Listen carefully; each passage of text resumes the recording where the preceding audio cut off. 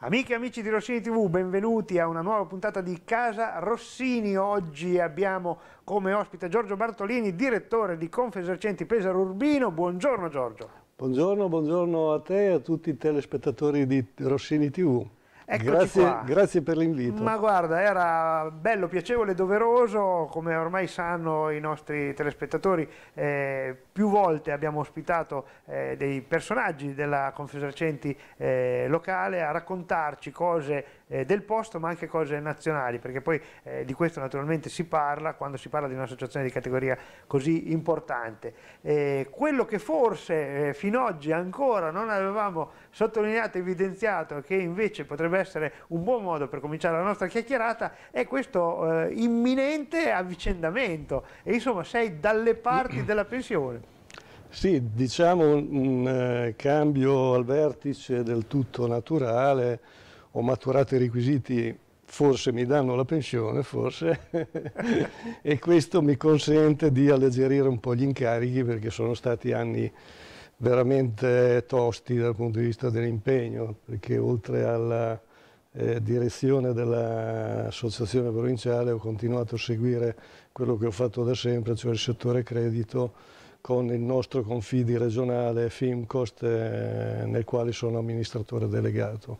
Ricordiamo che da vice direttore sei diventato direttore nel 2017. nel 2017. da quel momento si sono appunto aggiunte a tutto quello che già facevi prima, eh, tutte le eh, incombenze eh, della direzione provinciale, eh, insomma diciamo che in questo momento eh, questo, questo, avvicendamento eh, non, non, ci fa immaginare un Giorgio Bartolini in pantofole seduto sul divano diverso da quello di Rossini TV. Insomma. No, no, non si tratta di un disimpegno impegno, non esatto, si tratta. Esatto. Quindi continuerò a seguire il settore del credito come amministratore delegato del nostro confidi regionale, che è un confidi diciamo, che ha mantenuto la sua autonomia, fra i pochi devo dire, perché oramai sono confluiti tutti nel confidi unico regionale, noi continuiamo ad operare autonomamente, oltre 5.000 soci, di cui 1.200 attivi, cioè 1.200 stanno utilizzando le garanzie nostre, è un'attività in questi anni che ha consentito, non voglio esagerare, ma di salvare moltissime aziende che diversamente non avrebbero potuto accedere al credito, quindi una funzione fondamentale e una funzione che sarà fondamentale anche per i prossimi tempi, quando finirà l'emergenza sanitaria, speriamo breve, quando però finiranno anche gli aiuti di Stato certo. e quindi la garanzia del Fondo centrale, e le aziende dovranno ritornare a camminare con le loro gambe, sarà una prova del 9 veramente tosta dove eh, l'aiuto da parte di chi deve fare garanzie come i confidi sarà determinante. Sarà. E oltre all'aiuto di una garanzia come i confidi eh, c'è anche questo impegno per questa nuova eh, attività che nasce eh, in questo periodo che è praticamente una, una struttura eh, di microcredito. Sì, siamo molto fieri di questa cosa perché è un progetto nato da noi.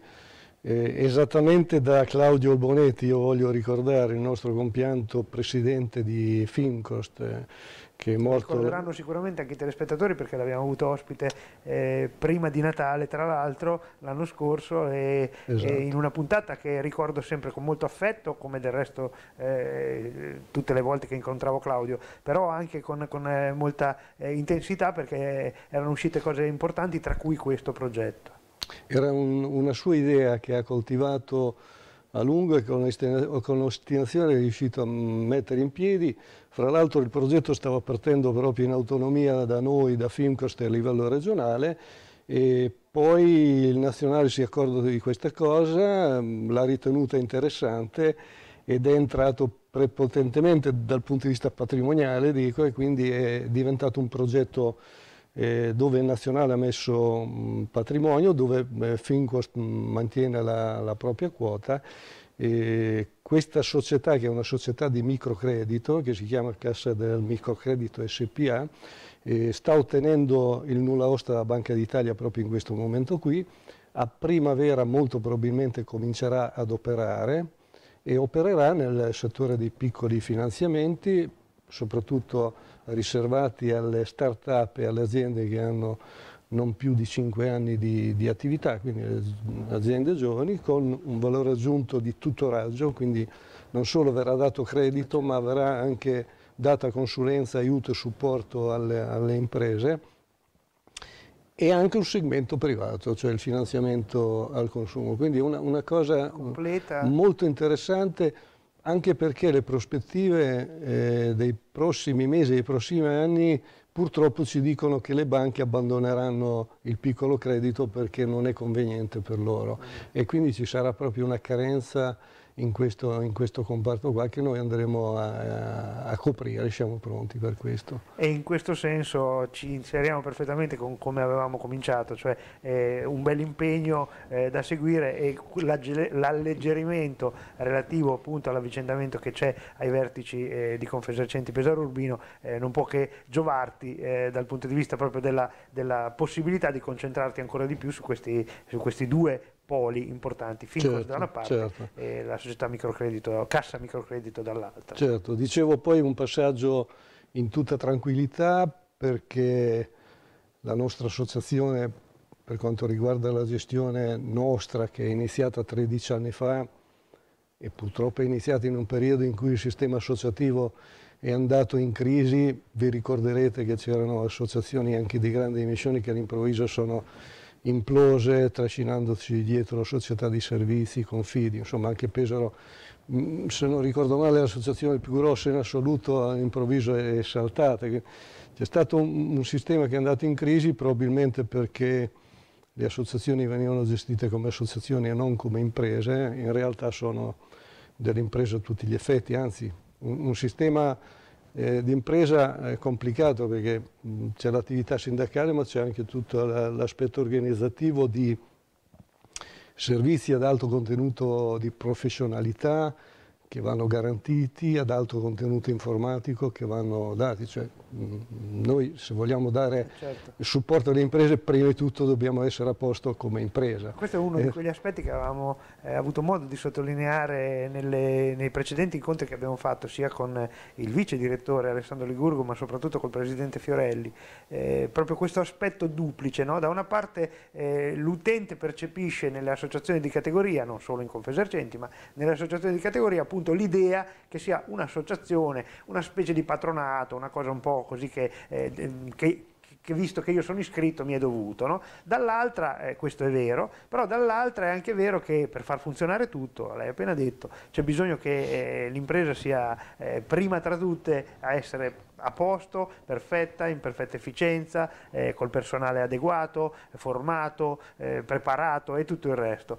Questo, questa situazione, diciamo, eh, da una parte mh, probabilmente in passato eh, ha creato dei conflitti perché appunto da una parte c'era l'idea un po' eh, così da semi-volontariato del concetto associativo e dall'altra invece c'era una situazione molto stringente dal punto di vista delle esigenze e delle necessità, in un mondo tra l'altro che stava cambiando perché l'apporto dell'informatica informatica noi ormai lo diamo per acquisito, ma è stata un'entrata un, progressiva che si è sempre più imposta, per esempio con la necessità eh, di avere personale formato e eh, mentalizzato, insomma tutto un insieme di cose che eh, ha portato a, a, delle difficoltà. Voi siete arrivati eh, a, a, risolvere eh, o perlomeno a, a, rimboccarvi le maniche 13 anni fa eh, e, a far ripartire un, un, un, sistema che si era inceppato proprio nei, nei suoi concetti chiave. Certo, la fotografia è proprio questa, noi abbiamo ereditato questa situazione 13 anni fa e non dimentichiamoci che qualche anno dopo abbiamo inceppato nella crisi economica, quindi abbiamo gestito due crisi, la nostra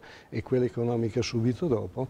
E siamo usciti da questa situazione, direi bene, posso dirlo tranquillamente, la struttura ha garantito i servizi, anzi diciamo che Confederazione Pesaro è la, diciamo la, la, la, struttura più organizzata a livello regionale, garantiamo tutti i servizi, dalla formazione ai servizi tradizionali al credito, e mm, abbiamo risanato i conti, eh, quindi lasciamo un'associazione in perfetto equilibrio economico e finanziario, lasciamo un'associazione una azienda organizzata e strutturata e sto parlando di un sistema che ha circa 70 dipendenti e 8 sedi territoriali, quindi non, non semplice da gestire.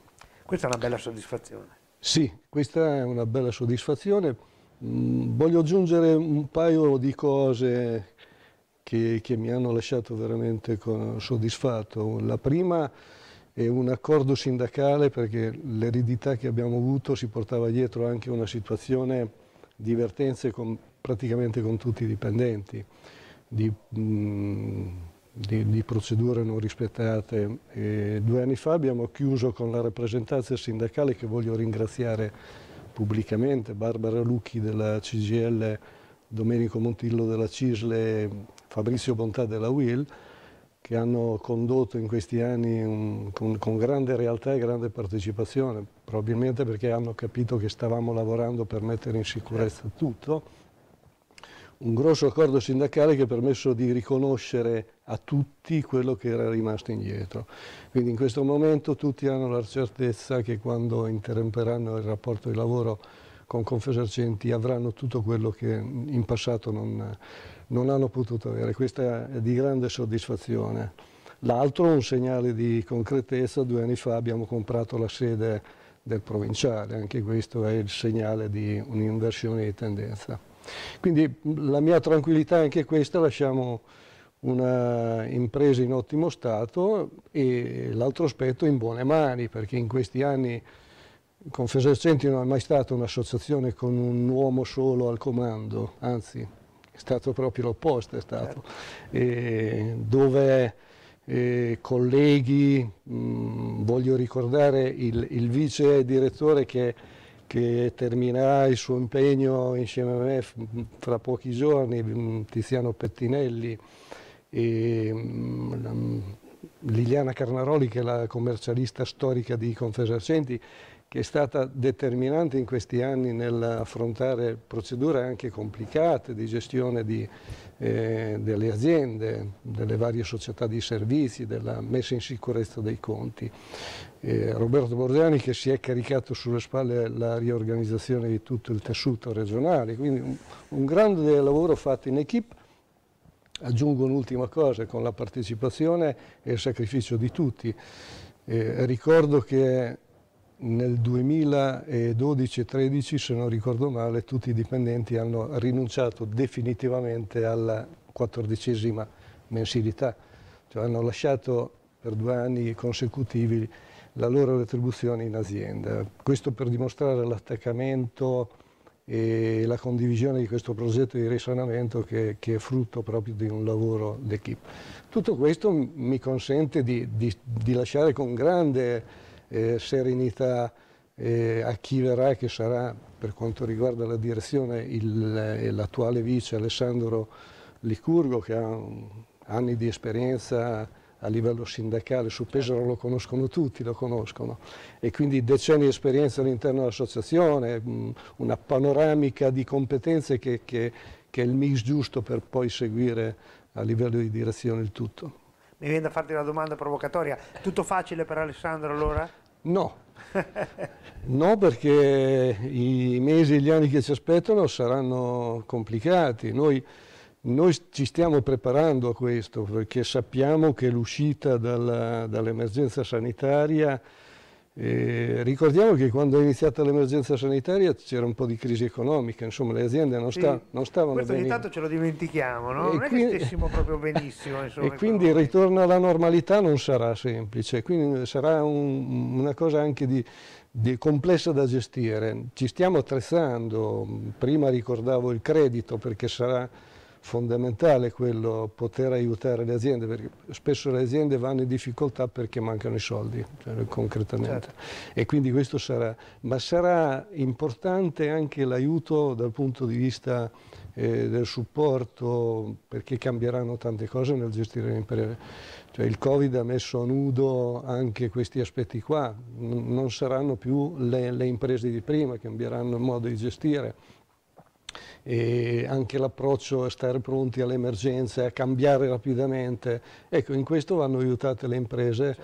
e ci sarà un, un, grande lavoro da fare, siamo pronti. Siamo. Parlavamo con eh, Paolo Benedetti di BCC di Banca di Pesaro, proprio del fatto che fra un po' scadranno anche i termini eh, dei preammortamenti, cioè fra un po' sarà ora di cominciare a, a ridarli i soldi, quelli garantiti dallo Stato. Insomma, eh, diciamo che mh, mm, non c'è da, da aver troppa paura, però c'è da stare attenti. In tutto questo naturalmente abbiamo eh, visto che da una parte abbiamo l'attività sindacale, dall'altra abbiamo l'attività aziendale, eh, bisogna farsi conoscere e Confesercenti ha scelto eh, la via migliore per farsi conoscere perché eh, oltre a essere già conosciuta di suo, eh, ha ideato, ha sposato in parte, ha ideato addirittura delle attività che però non sono attività prese catapultate da lontano, sono attività che ancora una volta mettono in risalto quelle che sono le eccellenze del territorio, eh, mette in risalto quelle che sono le attività più importanti, magari associate perché no, oppure eh, che presto si associeranno. Insomma, il cerchio si chiude con questa, con questa idea. No?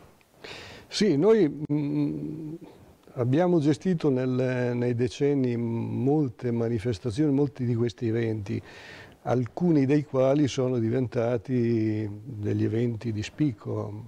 Mi riferisco al Brodetto che dopo vent'anni è una manifestazione a livello nazionale di, di grande livello, posso dire. Di, e, però noto anche che perlomeno a livello provinciale non ci sono associazioni che gestiscono direttamente come lo facciamo noi eventi del genere perché è impegnativo. Certo. Cioè sono impegni, eventi che richiedono impegni finanziari notevoli, impegni logistici di, di, di, di attività enorme.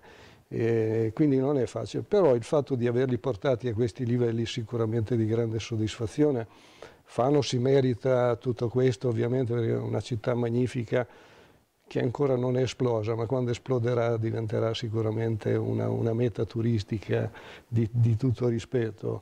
E, e, sono manifestazioni che aiutano l'economia, cioè il brodetto gira tutto l'anno, i, ristoranti, tutti i ristoranti, i ristoratori bravi hanno il loro bel piatto di brodetto all'interno del menù. Certo in qualsiasi parte d'Italia quando si parla di brodetto viene subito in mente Fano. Certo, ecco, certo, questi, certo. questi, sono, sono, sono risultati bello, esatto, raggiunto esatto, da, da, continuare a coltivare. Eh. Eh, poi i nostri telespettatori conoscono tutti naturalmente Masterfish che eh, in questo momento sta furoreggiando tra le fasi di registrazione nei ristoranti e le fasi eh, di messa in onda sui nostri canali. E poi c'è questa novità invece di Via Flaminia. Della Via Flaminia. Ecco, tu, tutto questo anche merito del... Io ho parlato prima prima i colleghi, ma ci sono tanti dirigenti nostri, presidenti provinciali di zona, che sono molto attivi e fra, fra, i, eh, fra questi ovviamente uh, c'è anche un certo Paolo Pagnini che, che ha un, un, incarico del genere, che ha ideato Masterfish, che è stata un'idea brillantissima con la collaborazione di Rossini TV e anche questo un veicolo eh, enorme per fare una vetrina al territorio con la conduzione di Otto Lorenzi che è un regista proprio. E quindi tutti gli ingredienti. L'ultimo progetto, la via Flaminia, ci tengo a citarlo perché sicuramente ha un potenziale enorme, è partito dal nostro presidente di Fano Adolfo Zuccoli eh, che da anni sta lavorando su questo progetto, è un progetto di valorizzazione turistica della via Flaminia, quindi il territorio che va da Rimini a Roma, e, mh, mm, ha già mh, mm, praticamente elaborato il progetto e sarà sottoposto ai vari territori che compongono la via Flaminia iniziando da, eh, da, dai nostri di competenza, cominceremo col comune di Fano ma questo aggregherà tutta una serie di territori, un progetto di dimensioni mh, mm, direi sovranazionali che sicuramente nel futuro farà parlare di sé. Bene, bella, bellissima idea, la seguiremo naturalmente con attenzione, così come seguiremo con attenzione tutte le fasi del tuo pensionamento, che ovviamente abbiamo già capito che sarà un pensionamento per modo di dire, perché eh, le attività da fare sono eh, tante e soprattutto eh, lo spirito, la verve, la grinta, l'energia eh, che abbiamo eh, avuto modo eh, di testare oggi anche in questa nostra chiacchierata sono, sono, intatte ancora una grande riserva e una grande risorsa per tutti quelli che eh, comunque hanno a che fare con questo mondo che è, è poi il mondo della quotidianità, il mondo delle imprese, il mondo dell'attività, il mondo dell'energia, il mondo di tutto quello che, che si fa quotidianamente. Sì, sì, direi che l'esperienza che si fa in questo ambiente che è unico, diverso da tutti gli altri, è un'esperienza che poi ti permette di affrontare, potrei dire, qualsiasi tipo di, di, di problema di, e di impegno anche futuro. Quindi mi rivedrete. Bene, bene, bene, bene. E allora rivedremo Giorgio Bartolini sicuramente eh, altre volte, così come eh, ci rivedremo con altri ospiti eh, di Casa Rossini. La puntata di oggi si conclude, noi ringraziamo tutti per essere stati eh, con noi, vi diamo appuntamento a una prossima puntata di Casa Rossini, così come vi invitiamo a rimanere sempre in visione dei programmi di Rossini TV. Ancora grazie a Giorgio Bartolini. Grazie a voi, buongiorno a tutti.